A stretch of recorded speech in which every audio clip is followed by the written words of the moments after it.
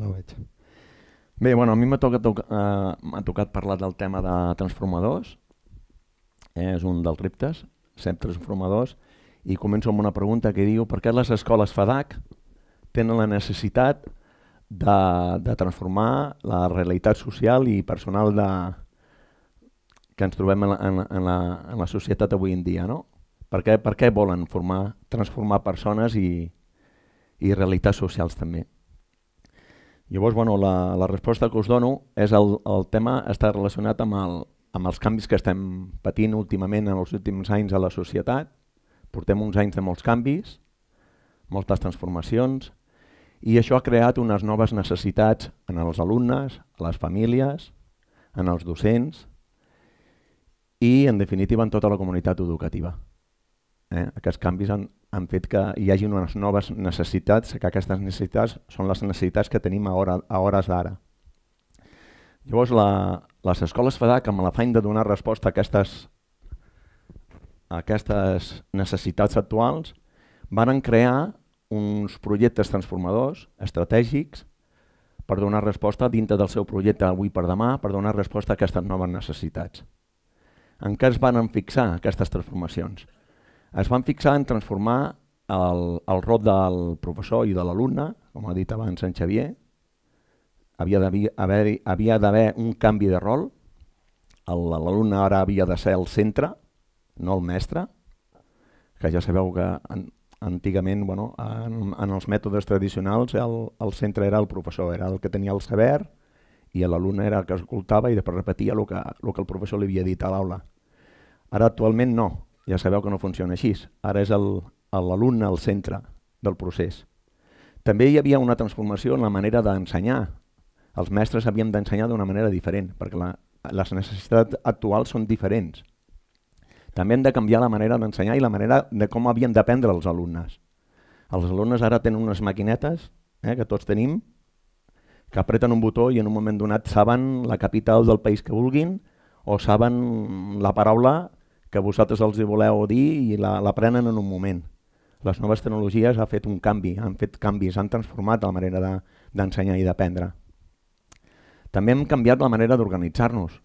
A l'escola, Xavier ho ha explicat, ja no és una jerarquia, es vol que tothom col·labori, que tothom decideixi, que tothom sigui un líder, que un mestre com jo que estic aquí, que som mestre de, de primària, doncs estic aquí parlant i representant a, a tots els meus companys eh? no sóc el director pedagògic, sóc un mestre de primària eh? que dona matemàtiques i escacs i estic representant a tots els companys i a tots els professors de la FADAC. Uh, aquí mostra que, que, bueno, pues que tots podem ser líders, que tots podem fer canvis i que tots podem uh, transformar l'escola, les persones i la societat. Qualsevol persona que tingui ganes de canviar i de transformar ho pot fer. Uh, també el tema de, de, de la tecnologia. Eh? Volem, volíem eh, que la, la tecnologia entrés a les escoles, però que sigués tractada d'una manera significativa. Hem d'ensenyar a les escoles els, eh, la tecnologia i hem de fer servir aquestes eines, però també s'ha de saber ensenyar-los a com utilitzar-les i, com, i, i els perills que comporten la, les tecnologies. Els pares sobretot són els primers que diuen no, no, molt bé que no tinguin llibres, que tinguin ordinadors, però cuidado, que a la llarga s'hauran d'anar a estudiar a la universitat i hauran de memoritzar i hauran d'empullar i hauran de saber les coses. ¿vale? Pues bueno, pues ajudem. La tecnologia ha de ser unes eines que ajudi, que ajuden eh, al coneixement, a buscar el coneixement i adquirir el coneixement, però després també hem d'ensenyar uns hàbits d'estudi, de treball, d'esforç, de sacrifici, de responsabilitat, i això no ho descuidem a les escoles FEDAC. Avui us presento dos d'aquests projectes estratègics transformadors que de tots els projectes que la, que la FADAC ha plantejat com a transformadors, hi han dos que aquesta escola, FADAC Sant Narcís, eh, ha sigut el, la creadora. Eh? Els mestres d'aquesta escola han creat dos projectes estratègics, transformadors, i els han escampat a la resta.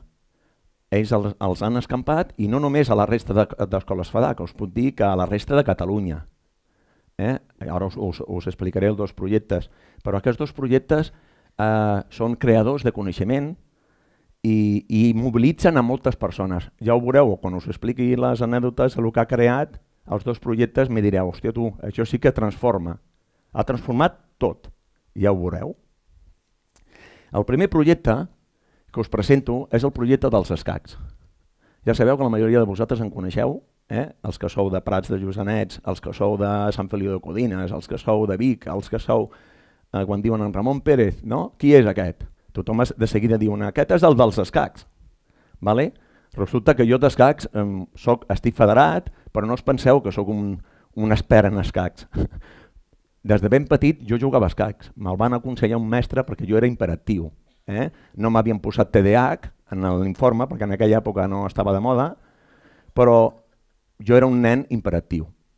Vale? D'un barri de Girona, on hi havia el 95% d'immigració, i era el típic nen imperatiu, que m'agradava jugar, m'agradava jugar al futbol, m'agradava jugar a escacs, i un mestre d'allà em va dir, tu, a tu t'aniria molt bé estar una bona estona davant d'una taula, pensant, eh, i, i a veure si pots aconseguir estar quiet. Me recordo que una vegada me volien lligar amb una, amb una corda en aquelles èpoques, eh, en la classe, perquè no parava quiet, i, i la veritat, em vaig apuntar, amb 7 o 8 anys el mestre m'aportava, jo vivia en un barri d'aquí de les afores de Girona, i em portava a l'escola del Belllloc, que ja era la gran escola on hi havia la gent bé, i me portaven a jugar ja els caps de setmana a jugar a escacs.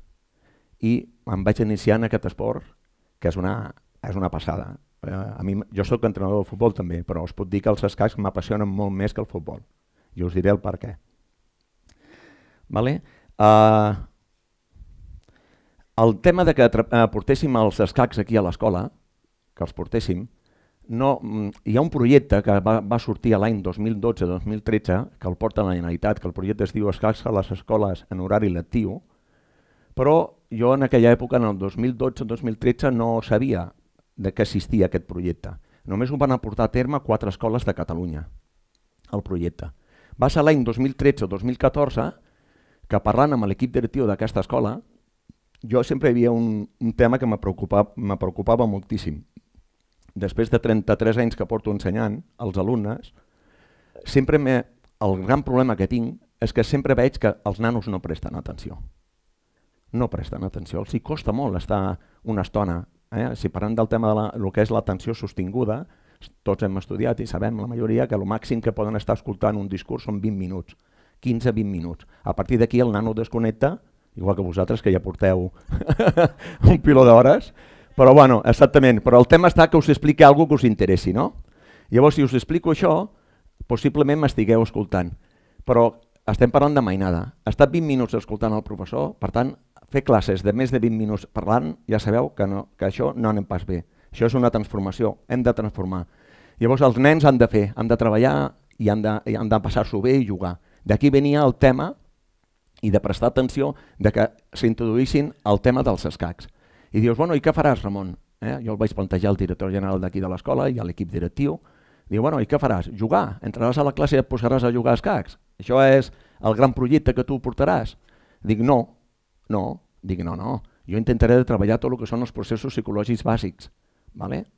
Uh, tot el tema de l'atenció, de l'anticipació, tot el tema de la reflexió, de, abans d'actuar, pensar en la vida, abans de, de ser impulsiu, ser reflexiu, és molt millor. Jo era impulsiu.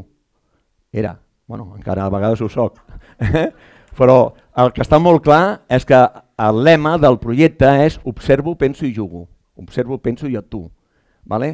Per tant, abans d'actuar se'ls ensenya als nanos que primer han d'observar bé, eh, com en la vida, la majoria de les persones, davant d'un problema, davant d'una dificultat, davant d'una situació de la vida, primer observem bé, després pensem i després actuem. I aquest és el lema del projecte. I llavors el professor em va dir, bueno, i, què, i, i, i el, el director general i, el, i, el, i diu, què, què treballaràs? Bueno, doncs treballaré tot el tema de l'atenció, treballaré tot això, i a més a més, dic, mireu, el projecte si és interessant, que treballaré tot el tema de, de els, uh, els continguts curriculars. Ah, sí? Sí. Treballaré tot el tema de la comprensió lectora i tot el tema de les matemàtiques, amb els escacs. D'aquí ve de que el projecte no volen els que eh, la Generalitat i la Federació Catalana d'Escacs no volen que el projecte a les escoles ho portin els entrenadors de clubs. vale? sinó que el que volen és que el projecte sigui aplicat per mestres d'escola, tot i que no saben jugar a escacs. Hi ha uns cursos de formació que es poden fer, aprens la base, la base, a moure les peces i poc més, quatre inicis de com començar una partida i quatre conceptes tàctics, però el que aprenen i que no ho han d'aprendre, que són els mestres d'escola, és com interrelacionar les matemàtiques i la llengua o la geografia, com interrelacionar-ho dintre d'una classe d'escacs, com treballar tot això. Això és el que se n'aprèn en el curs. I els mestres, com sou creatius, la majoria sou persones molt creatives, jo un mestre de, de P5, d'infantil 5, no tinc que ensenyar-li res perquè aquestes persones estan acostumades a manipular, a treballar, a observar i ells els hi poso un escaquer gegant de 9 metres quadrats que ho vàrem comprar i me treballen psicomotricitat. Me treballen la línia vertical, la línia horitzontal, la diagonal, el dins, el fora, tots uns conceptes que, que es poden treballar dintre d'un escaquer i inclusiu a cantar cançons, a moviments, es poden aprendre moltes coses a P5, que seria un preescacs i que es poden treballar. Llavors el curs va per aquí. També us puc dir que molts estudis de prestigi internacional que s'han fet al llarg dels anys, fa més de 20 anys que s'han fet estudis, constaten que la pràctica assídua del joc dels escacs per part dels alumnes els fa millorar a nivell acadèmic, en molts àmbits, sobretot en comprensió lectora i en matemàtiques. En Leocho García, que és un dels periodistes més famosos a, a nivell estatal i a nivell europeu, eh, sempre comenta en les seves xerrades que inclusiu en Espanya és el que surt al nivell més baix, en comprensió lectora i en matemàtiques.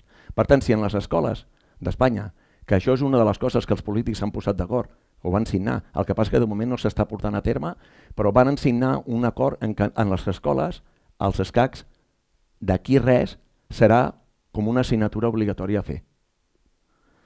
Aquí, des de l'any 2013-2014, en aquesta escola s'està portant a terme, des de P5 fins a 6è de primària, eh? en horari lectiu, no extraescolar.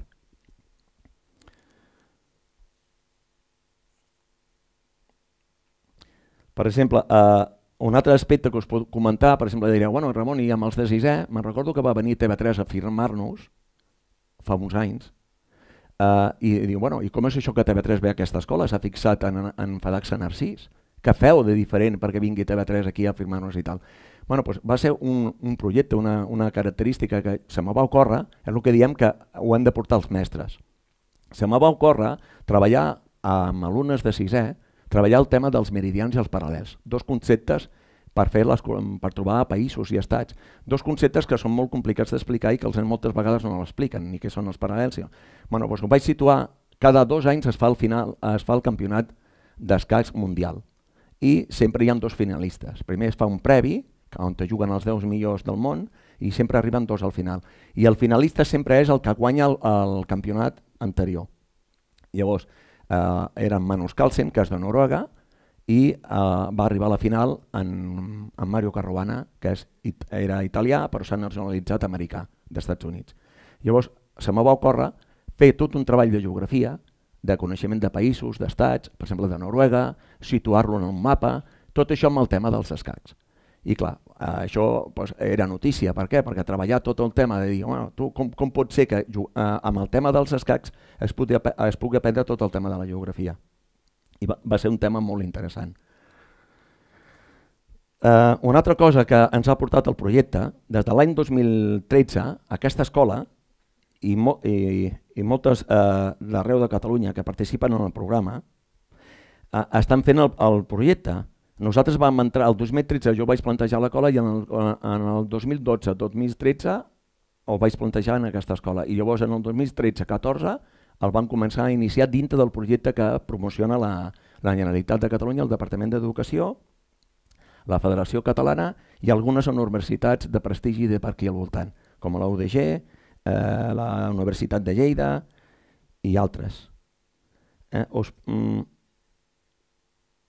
és un orgull també per mi dir que s'estan fent uns cursos de formació a nivell de tot Catalunya i que eh, de tots els professors que fan aquests cursos, els més nombrosos, els que més participen i els que més estan col·laborant amb el projecte són mestres FADAC.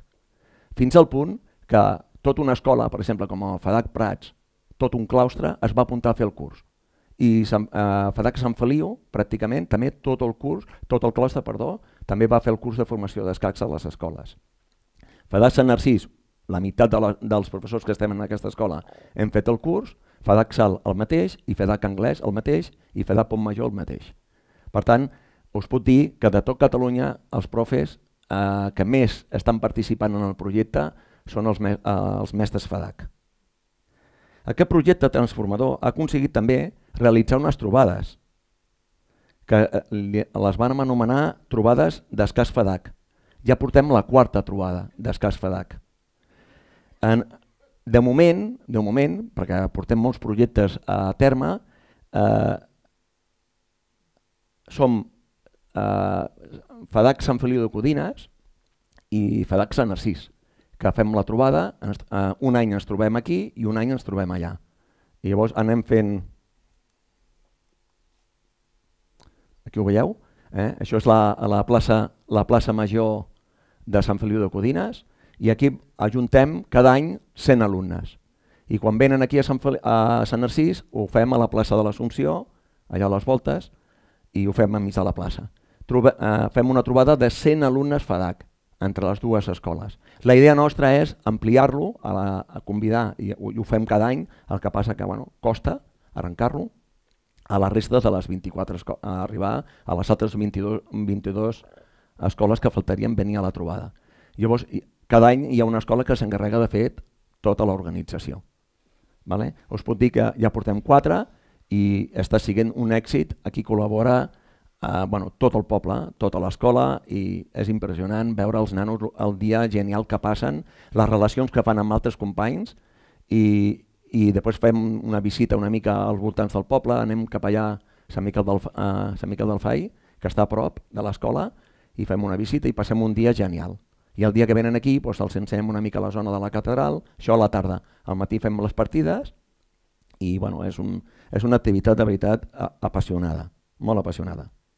I també no, no vull mencionar l'Eloi, l'Eloi Nortes, que és un professor de, de l'escola, igual que jo, un, un professor d'allò de l'escola de Sant Feliu de Codines, que inclusiu entre ell i jo eh, estem, actualment estem siguent formadors de mestres de tota la de tot, de tot Catalunya. Ell d'aquella zona i, i jo estic aquí en la província de Girona i som seu, aquesta escola som seu de formació d'escacs, on tots els mestres de la província de Girona venen aquí a fer els cursos de formació d'escacs.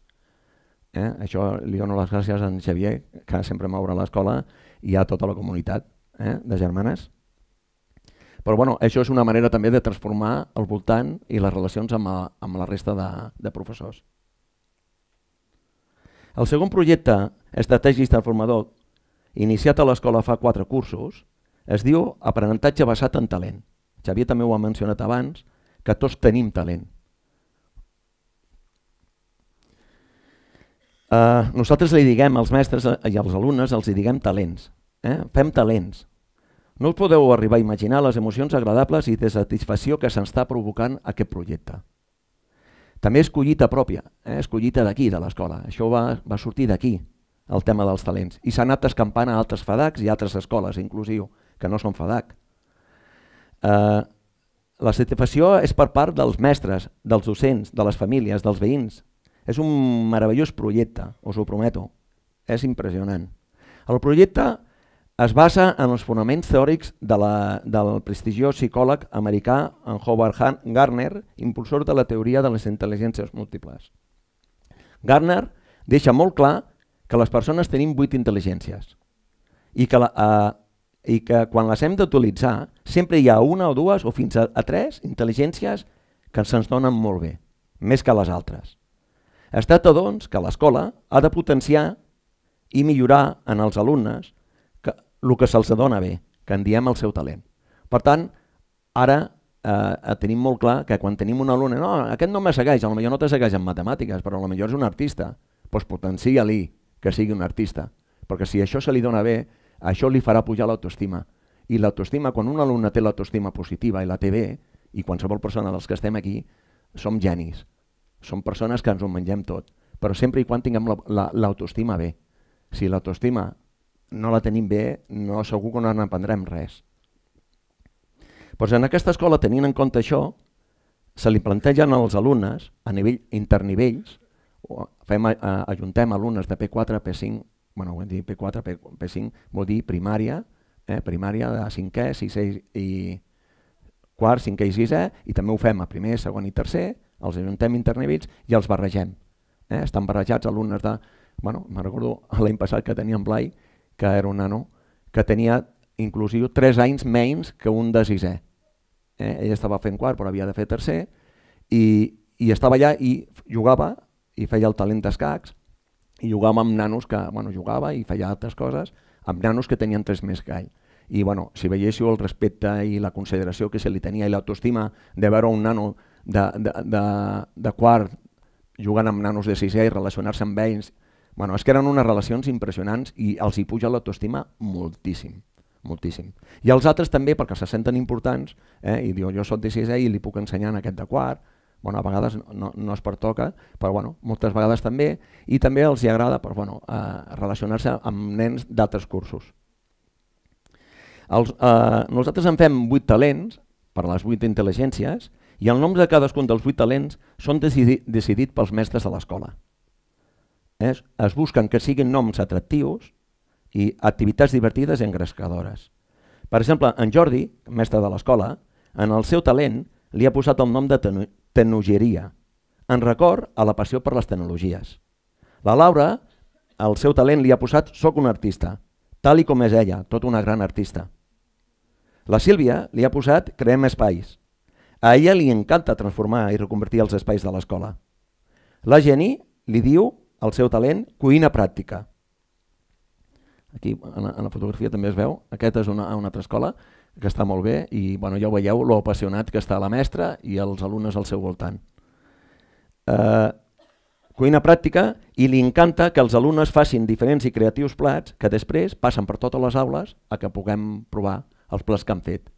I, ahir en, en Xavier em va comentar, diu Ramon, em vaig provar un, un ou farcit boníssim eh, que havien fet els alumnes.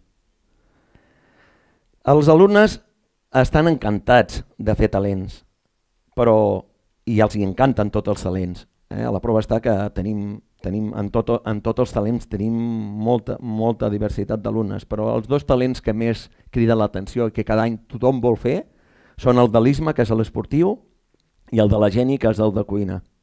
Aquests són els més exitosos. Una activitat molt interessant dintre dels talents que vàrem fer aquí a l'escola i que aquí sí que vaig quedar superimpactat amb aquesta activitat va ser convidar els avis dels nostres alumnes que vinguessin aquí a l'escola i convidar els avis dels centres geriàtrics que estan al voltant de l'escola i també eh, els avis del barri. Vale? Van convidar avis del barri, del voltant, avis dels centres geriàtrics, que estaven en centres geriàtrics, i els avis del, dels nostres alumnes. Havien de venir aquí a l'escola i durant... Eh, era una sessió al mes, durant una sessió al mes havien de, de, de decidir quin talent farien. Aquesta vegada no seríem els mestres que faríem els talents, serien els alumnes que ells havien après el seu talent i ells farien de mestres, dels avis. Llavors s'havia de fer una presentació, que ho vàrem fer aquí, on esteu vosaltres ara mateix, vàrem fer una presentació i els alumnes havien de presentar el seu talent. De què tractava? Els avis escoltaven i després decidien on anaven i venien una sessió al, al mes. Varen fer quatre sessions, tres o quatre sessions, ara no recordo ben bé, però van fer tres o quatre sessions. Eh, impressionant veure com els alumnes comunicaven el talent als avis. Eh? No portaven ni micro ni papers, eh? i s'ho sabien de memòria, explicaven com, com, de què tractaven i, i bueno, també havien fet a les classes, a, a l'assaig, per poder-lo expressar davant de tota la gent i ho van fer impecable. Vaig quedar molt impactat veure com els nanos explicaven i la gran facilitat de comunicació i oratòria que tenien. Vaig quedar impressionant, impactat. Els avis hi havia alguns que ho tenien molt clar on havien, on havien d'anar. Per suposat anirien on estaven els seus, els seus nets. Vale. Però van haver-hi altres, van haver-hi altres, que no sé si, aquí no veig la foto, no es veu la foto, però va venir, va venir altres, sí, sí que es veu aquí a la cantonada a l'esquerra, una senyora, que no era, no era cap àvia de cap net ni res, sinó que era un veí, un nen de l'escola, en Pau, que va convidar la seva veïna, que té 90 anys, a que vingués aquí a l'escola i ell volia que fes el seu talent. Ell feia el talent d'escacs. I dic, bueno, i li vaig dir, Pau, però que l'àvia amb 90 anys vols que aprengui a jugar a escacs? Diu, sí, sí, ja ho veuràs que sí, Ramon. Diu, jo l'ensenyaré i estaré l'hora que dura la sessió i ja veuràs que... Bueno, mm, només us puc dir que el, jo vaig anar, anar, anar fent voltes, vaig estar allà, el taller el portaven ells, els portaven el, el, els alumnes. Però cada vegada que passava per allà, l'àvia me mirava per darrere i m'anava fent així. Eh? Total, jo vaig quedar al·lucinat. Després, si, si us dic els comentaris dels avis quan van sortir de fer els talents, que anaven baixant, els, els ajudàvem per baixar amb l'ascensor, tot era comentaris de dir, hòstia tu, això ha sigut al·lucinant. Com pot ser que el, aquests alumnes ens hagin ensenyat i de la manera que ens han ensenyat? Hi havia una àvia que deia, diu, és que ha sigut impressionant perquè he estat en un taller on amb un ordinador m'han ensenyat a enviar un mail al meu nebot d'Andalusia. Un altre diu, hòstia, jo m'han ensenyat i he pogut anar a visitar la casa amb el Google Maps, he anat a visitar la casa on jo vaig néixer, en el meu poble. Diu que, que feia la tira d'anys que, no, que no podia haver, uh, uh, que no havia estat i m'han ensenyat això.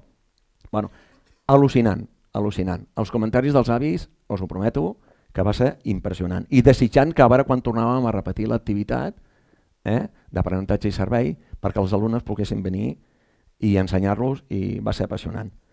Per tant, us ho prometo que això és una activitat super apassionada, apassionada, transformadora i que ens ha donat tant els talents com el, els escacs ens han donat peu a fer moltes transformacions a dintre de l'escola i sobretot de lo que com ha començat, de persones i de, i de, i de grups socials. No? Ens, ha, ens, ha, ens ha impactat molt aquests dos, aquests dos projectes. I per acabar us vull comentar eh, que aquests projectes, amb altres projectes que, ten, que tenen les escoles FADAC, són un exemple de transformacions que estem portant a terme amb un fi en ment, eh, ja que tenim tot el del projecte del líder en mi, que és un altre projecte estratègic, tenim un, fent, un fi en ment molt definit. Els mestres de, de les escoles FADAC tenim molt clar, però molt, que hem de fer que els nostres alumnes siguin competents, que tinguin competències, també ho ha dit abans en Xavier, globals, que siguin competents, que siguin persones compromeses, que ja ho són, que siguin responsables, que quan se comprometin a fer una cosa, que la facin, responsables. I amb uns valors cristians, que a mi des de petit se m'han inculcat, i aquí també ho estem intentant, que s'inculquin, perquè som una escola cristiana, amb uns valors cristians sòlids, sòlids, que donin solidesa i que siguem exemple de valors cristians. I que ens aspirin, eh, que ens donen inspiració per ser proactius. Aquesta paraula que molts alumnes meus quan me veuen, Ramon, són proactius. I dic, i què vol dir? Què vol dir? Sí, sí, que fem les coses sense que ens ho hagin de dir. Doncs hem de ser proactius. Moltes gràcies per escoltar-me.